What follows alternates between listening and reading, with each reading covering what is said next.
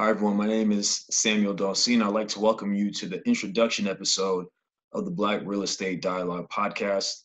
I currently live in the LA area, specifically Inglewood, and I'm from Brooklyn, New York. Been in California for three years. And the purpose of the Black Real Estate Dialogue is to document the journey of an up and coming Black real estate investor and also to share the stories of successful Black real estate investors. The up and coming real estate investor is me, and I'll be sharing great stories of others who I aspire to be like and who I look up to. My goal is to prove that anyone can become a real estate investor. There are so many people in the Black community who are achieving great success in this arena. Many have already achieved financial freedom, and others are actively working towards it. And Black homeownership is at a historical low. That's just a fact. But I believe that with the right information, we can all change that statistic, that statistic in years to come. If this podcast can inspire one person to believe that it can be done, then I've achieved my goal. Uh, I've also decided to launch this podcast on Columbus Day for a couple of reasons. One, I came up with this idea in during the summertime, so I figured I'd give myself some lead time to figure things out and get things rolling. And also because I don't believe Christopher Columbus was a hero for most of us in school, we were told that he was the man who discovered North America and did all these great things, which isn't really true. Uh, he enslaved people in the lands he set foot on, and because of him, a lot of people died.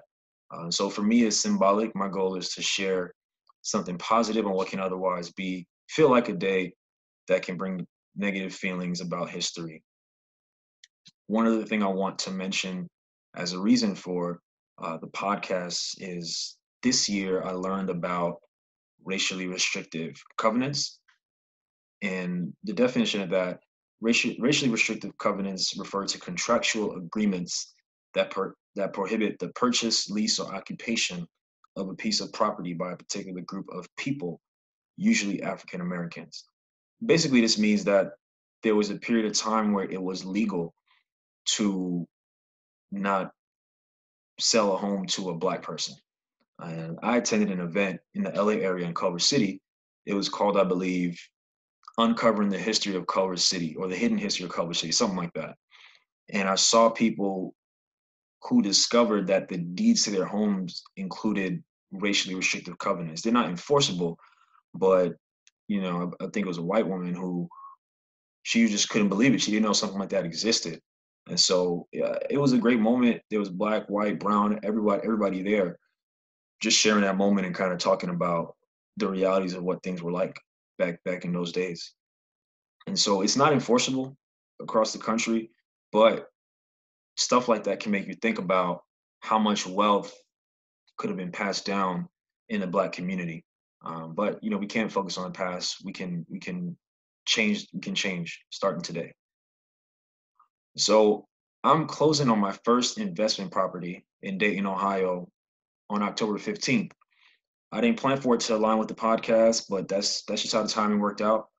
The purchase price was 90k, and I put down 20%. The cash flow, which means money left over after expenses, so property management, insurance, tax, and so forth, will be maybe 300 a month or so, uh, conservatively. Single family home, and I purchased it from what's called a turnkey provider. So we'll talk more about that in a bit about what exactly that is. And as far as a down payment, you're probably wondering, well, how did you save up that money for the down payment? So about a year ago, I decided to put my student loans into forbearance to save for an investment property. And my goal was to buy by Thanksgiving of this year, 2019.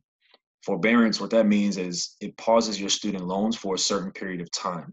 So for my particular loan, I was allowed to do it for a period of 12 months. So 12 months you don't pay any loans. The interest still accrues, but I calculated it, and to be honest, I've been paying pretty aggressively for about five years, and the interest, whatever interest would accrue, was nothing. Is is not not even worth mentioning. Um, that's not professional advice. That's just what I that's just what I decided to do.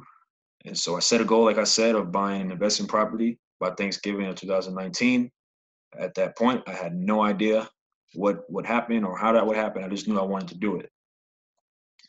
so one of my friends introduced me to Bigger Pockets and sent me a webinar. Shout out to Junior, my boy back in Brooklyn.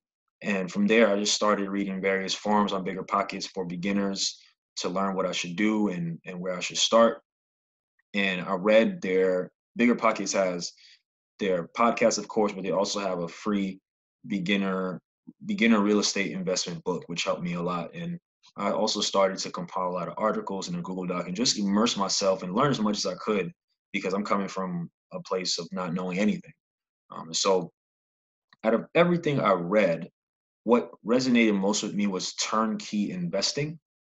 And turnkey companies buy distressed properties, they renovate them, and they sell them to investors.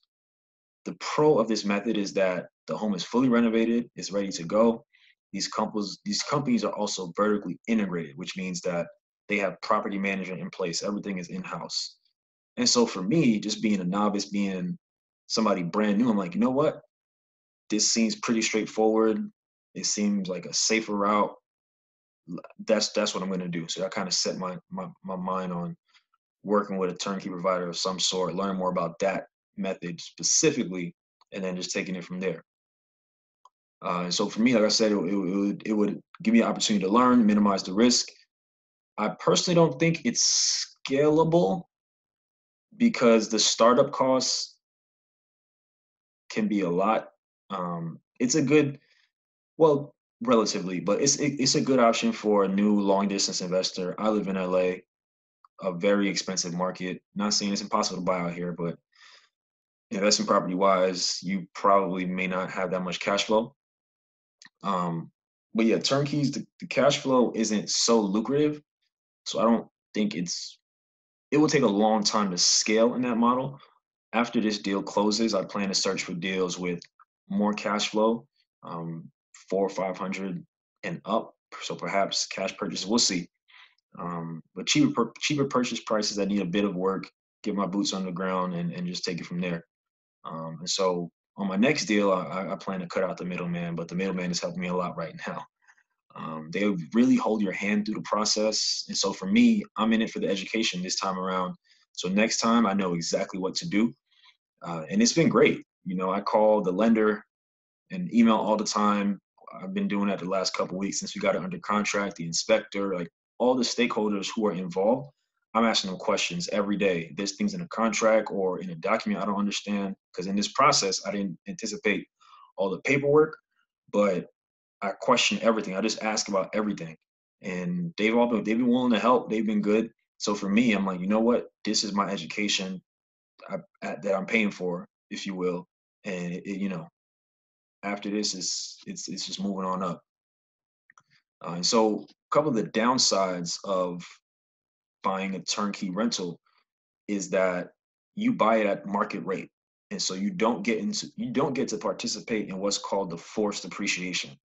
So let's say for example and i'll i'll explain forced appreciation more. So let's say the turnkey provider purchases the home for i don't know $30000 and they put let's say they put just for the sake of the example they put $30000 into renovations and they sell it to somebody for 90 they're making quite a bit of money off of that and they get to enjoy the fact that the property that the property value increased. Whereas when it comes to me i'm buying it at market rate.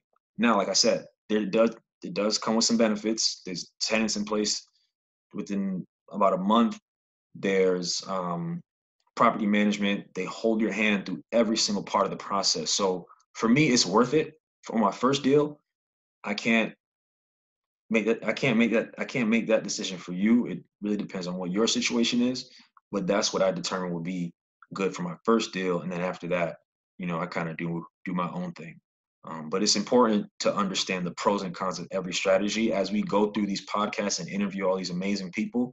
You'll see that people, depending on where they live, depending on what their goals are, they have different strategies, different methods, none of them are wrong. It just depends on what you want, what your goals are, what you're comfortable with, and we'll learn more as as you hear all the interviews we have coming up. And so on Bigger Pockets, I stumbled upon posts from a woman named Ali Boone. She's actually based in LA, I believe in Venice, and she invests out of state, all turnkeys. And so I personally consider her a mentor. I followed up with her via email and she sent me some information and, and resources so I can learn more. Her website is actually pretty helpful. Her and the folks over at Hipster Invest Hipster Investments, they have a lot of great resources, calculators, all type of stuff that's helped me quite a lot. And I'm also in her Facebook group where we just talk about turnkeys and answer questions. She has like a live, she does it every week. Uh, so it's good. It's good. I also learned a lot from a, a gentleman by the name of Lane Kawaoka on Bigger Pockets and also on his podcast. I kind of just reached out to him and he recommended me to his podcast. He said, listen to the first 15 episodes, schedule a call, me, we'll talk some more. So I did that during the spring and, you know, we, we kind of developed a, a bit of a, of a, relationship. We had a, we had a quick call and he had a meetup on a flyover in LA and, you know, it was just good connecting with him, but he's he was helpful and his website simplepassivecashflow.com was very helpful. Now he's now like a big syndicator so he's doing like huge deals but you know he started with turnkey rentals. And so early this year i read rich dad poor dad for the first time and it really ignited a fire in me to figure out how i can make sure i get a property this year. And so i did something i never would have otherwise done and I called my retirement plan representative and asked about the various options for what I could do with my retirement funds. And what I learned is that I could borrow 50% of my account balance and pay it back to myself, pay it back into the account with interest over a five year term. And so I realized that I was contributing 7% to my employer plan, even though their match is only 3%. So I crunched the numbers and I noticed that if I decrease my contribution from 7% to the employer match at 3%, the difference will cover the monthly loan payment and my personal cash flow wouldn't be impacted. So what I mean by that is I wouldn't see the effects of it because it was money that I was giving anyway. Um, and so for me, I determined that was a sacrifice, if you will, that I was willing to make, that I was okay with. Again, that is not professional advice. I'm not going to sit here and tell people to withdraw all your retirement or make a do a loan is just another option. It's a form of creative financing. And as we go through this podcast, you'll learn about a lot of people who use creative financing. And so just putting that disclaimer out there, you know, consult professionals, do your own research. But needless to say, I completed the paperwork and I received the funds shortly thereafter. So that was around June. And during the summertime, uh, I, I made some progress on on on purchasing. And so turnkey companies work with mark with what are called marketers, and the marketers basically connect these companies to prospective clients. And so there's a particular marketer whose podcast I listen to. They're very well known on Bigger Pockets. And I just filled out a form to schedule a call during the summer. And so I spoke with one of their um, I think they call it portfolio managers or or whatever they're called. Um, but we discussed my goals and my timeline, and he connected me to turnkey providers via email in Dayton, Ohio, and in St. Louis, Missouri. I replied to both. Dayton was who the company who replied. They sent me their inventory and kind of what they're about. They sent me a market report just to learn more about the, the market in Dayton and things of that nature.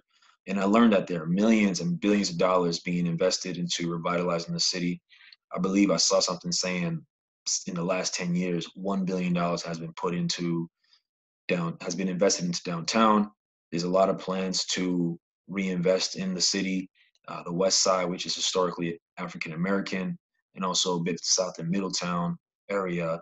Amazon just built a fulfillment center, and there's just a lot of things happening there it wasn't a market I ever thought of, but I liked what I heard, and they said, you know, come on out for a market tour. We'll show you our inventory, and and we'll see if it makes sense for us. So I booked a flight. Was went there in July. During the visit, it was really good. We got to see their finished inventory. Uh, so finished inventory, uh, homes in the middle of rehab, and ones that were just gutted, just purchased and gutted, and know we had done it all. It never felt like a sales pitch. I would ask as many questions as I wanted to. Uh, they spent probably eight hours with me, just kind of checking things out and, and talking about their process and their company and things of that nature. And we got back to the office. I chose a couple properties. that needed to be renovated as my top two. And you know, for the rest of that weekend, I just drove around the city, kind of got a feel of the neighborhoods, and you just see the building. You see, you know, industrial buildings downtown being converted into lofts. You see cranes. You see it. You see the development. You drive around. You see the change. You see blocks changing. So I'm like, you know what? I wouldn't live here because I did just about everything there is to do in Dayton in a couple hours, but this is a good place to invest, in my opinion. You know, people are working. Uh, over 50% of the city are renters. You know, empl- unemployment is very low. So for me, it was it was it was a go. It was a go. And again, I think it's irrelevant that I, whether or not I would live there. It's just about it's just a matter if the it's just a matter if the numbers make sense. And the Midwest generally is is full of good markets that are cheap to get into, have really good cash flow. So you know, Cleveland, Indianapolis, Detroit, and so on. Um, and we'll definitely talk to people who are making moves in some of those cities. And so I plan to buy as much as I can in Dayton. I've read city plans about, like I said, various parts. And that's another tip. If there's a city that you, this is something I didn't discover till well after I went to Dayton. But if you're interested in investing in a city that you don't live in, or even in your city, look at the city plans. You know, cities always have plans on their on their websites of what they want to do with the city, where where the, where where the redevelopment is going to go, where transit is going to go. Like even here in LA, you can. It's very easy to access where all the train lines are going to be, all the new stuff being built out. So perhaps that could help you in your in your search and could really specify where you want to invest. And so, you know, for my next deal, potentially in the, in the on the west side of Dayton, which is historically black, or per, perhaps in the area where I'm at where I'm at now. So where where my home is now is almost like about two and a half miles from downtown Dayton, where a lot of the stuff is happening. I drove by it during the summer. It looked all right. It looked fine, but you know, you kind of just get the feel that the area is changing. Um, and so I'm excited to share updates on my journey throughout this podcast, the good, bad, and the ugly, and also share the stories of successful real estate investors. Uh, I definitely want to shout out the Todd Millionaire podcast and the Black Wealth Renaissance podcast and, and websites and content. I've gotten so much valuable information from those sources. And for me, it's just served as it's served it's served as an inspiration for me and it's shown me that you know I'm thinking differently, but I'm not crazy. Um, so I definitely appreciate uh, the brothers who are involved in that, and also Rashawn Scott, who's a co-host on the top Millionaire podcast. And so the future's bright. You know, I'm excited. My goal on this podcast is to prove that the average person can be a real estate investor. I'm an average person. I'm not rich. Everyone I spoke to, everyone I'll be interviewing had to start somewhere and they're going towards a bright future for financial freedom. And so I'm excited. I'm thankful. I thank God for all of you who are listening, whether it's one, two, three, whether it's 100. You know, let's grow, let's learn together, and let's have some fun. And so please leave a comment and review as you listen to our podcast. It'll definitely be helpful. You can find me on Instagram at Black Real Estate at Black Real Estate Dialogue. Definitely follow, turn your post notifications on. Let me know if you have questions or if you want to talk informally about real estate. I'm always down for a good conversation. I really appreciate it. Uh, thank you so much for tuning in to this introduction episode. And I'm just excited. I believe everyone will have a lot to gain from all of those who we who we interview. So thank you. God bless. I look forward to connecting with all of you.